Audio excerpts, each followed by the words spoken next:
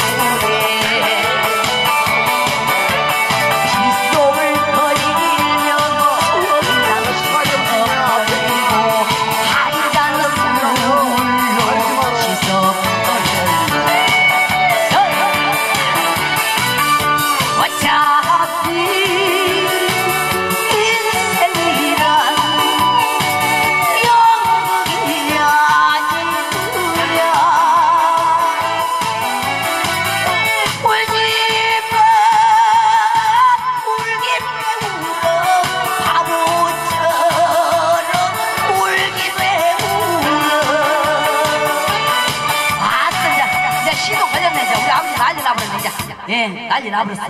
아이고 세상에 이제 근데 그냥 다 파자이 또 이게 아깝도 와서 진짜 어찌 이제 시동이 이제 아직 밭동이 걸린 거요? 예.